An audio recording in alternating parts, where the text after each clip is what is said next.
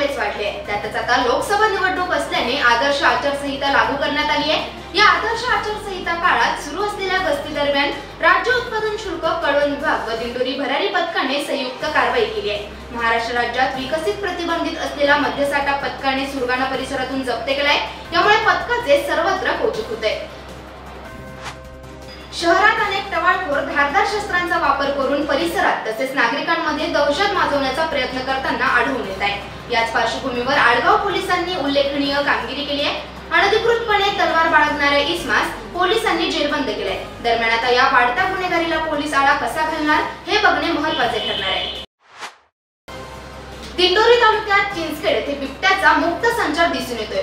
ऊसतोड कामगार शेतात काम करत असताना शेत परिसरात बिबट्याचे तीन बछडे आढळून आल्याने नागरिकांमध्ये दहशतीचे वातावरण दिसून येत आहे आगामी लोकसभा निवडणुकीच्या पार्श्वभूमीवर सर्वत्र कडक बंदोबस्त लावण्यात येतोय. मद्याची वाहतूक व विक्री रोखण्यासाठी नाकाबंदी लावून अवैध कारवायांना प्रतिबंध घालण्यात येतोय. त्यातच गुजरात परिवहनच्या बसमधून होणारी दारू तस्करी नाशिक ग्रामीण स्थानिक गुन्हे शाखेने रोखली. त्यामध्ये सुमारे एक लाख चौदा हजार सहाशे पस्तीस रुपये किमतीचा मद्यसाठा जप्त करण्यात आलाय.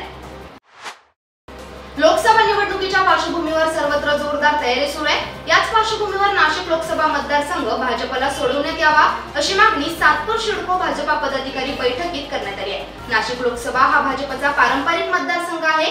त्यामुळे ही जागा भाजपला सोडण्यात यावी येथून दिनकरांना पाटील यांना उमेदवारी देण्यात यावी अशी मागणी यावेळी पदाधिकारी कार्यकर्ते तसेच सदस्यांनी केली आहे.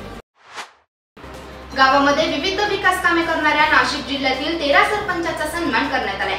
लोकमत तर्फे सरपंचांचा हा सन्मान सोहळा रंगला असून निफाड तालुक्यातील श्रीरामनगर ग्रामपंचायतीच्या सरपंच जयश्री काळे यांना सरपंच ऑफ द इयर हा पुरस्कार प्रदान करण्यात आलाय. यामुळे ग्रामस्थांमध्ये जल्लोषाचे वातावरण दिसून येते धुळ्यातून एक हृदयद्रावक घटना उघडकीस आली आहे. अकरा जणांचा कुटुंबाचा उदरनिर्वाह ज्या पुस्तक प्रदर्शनावर अवलंबून होता ते पुस्तक आकर्षण आगीमध्ये भस्मसात झालंय. यामध्ये सुमारे पंचवीस ते तीस लाख रुपयांची पुस्तकं जळून खाक झाली असल्याने पुस्तक प्रेमींमध्ये हळहळ व्यक्त केली जाते.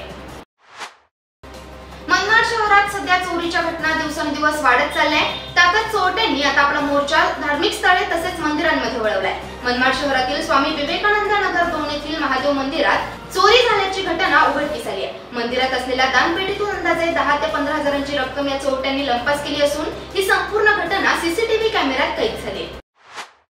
शहरात सध्या गोवंश तस्करी व गोमांस विक्रीचे प्रमाण चांगलेच वाढले आहे याच पार्श्वभूमीवर सातपूर पोलीस स्टेशन नाशिक शहराच्या गुन्हे शोध पथकाने उल्लेखनीय कामगिरी केली आहे. वैविधरित्या तस्करी होणाऱ्या गोमांसह सुमारे एक लाख बासष्ट हजारांचा मुद्देमाल पोलिसांनी जप्त केलाय.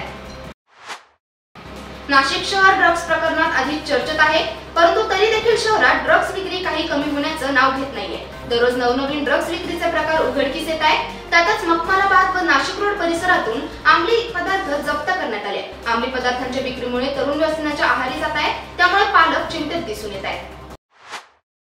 मुंबई अग्रा महामार्गावर पुष्प स्टाईलने होणारी दारूची वाहतूक धुळे पोलिसांनी उधळून लावली आहे. या प्रकरणी चार जणांना ताब्यात घेण्यात आले असून सुमारे सदोतीस लाखांची दारू जप्त करण्यात आली आहे. त्यामुळे पथकाचे सर्वत्र कौतुक होत आहे. बातमीपत्रात वेळ झाली इथेच थांबण्याची. पाहत रहा दक्षिण सामान्यांच्या हक्कासाठी नेहमी दक्ष